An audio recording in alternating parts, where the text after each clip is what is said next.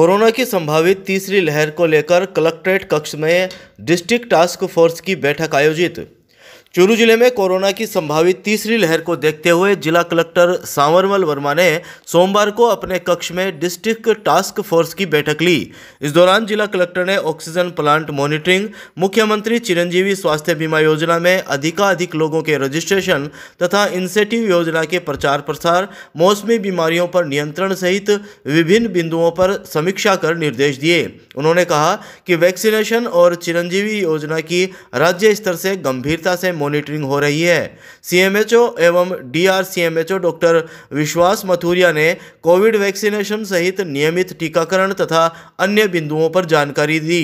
इस दौरान CO Ramniwas Jat, additional SP Yogendra Faujdar, सहायक निदेशक जनसंपर्क कुमार अजय सहित संबंधित अधिकारी मौजूद रहे।